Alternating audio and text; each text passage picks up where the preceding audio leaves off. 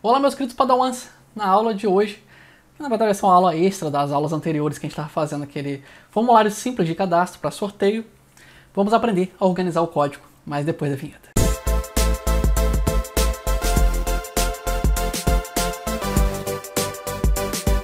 Certo, estamos com o código aqui aberto, é, ele aparentemente está mais ou menos organizado. Por quê? Porque eu tenho alguns espacinhos entre as áreas do meu código, talvez isso seja um bom auxílio visual.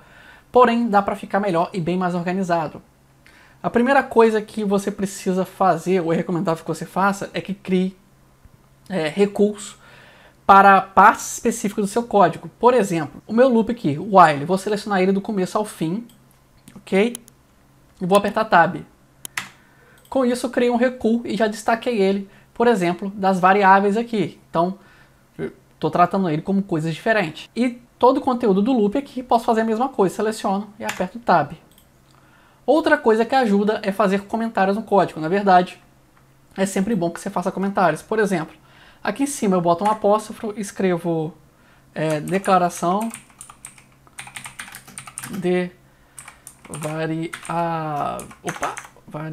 variáveis. Beleza? Pode criar um espacinho também para ficar mais organizado. E pode botar outras coisas, como valor inicial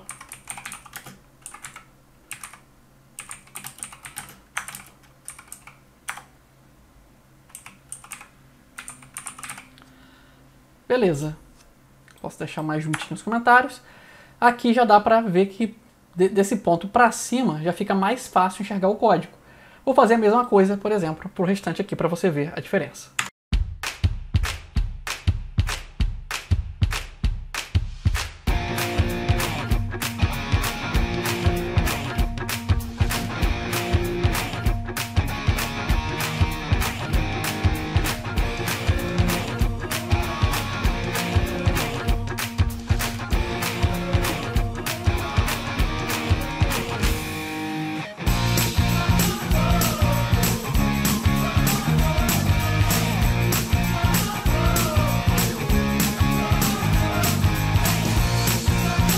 Ok, prontinho aqui, pessoal.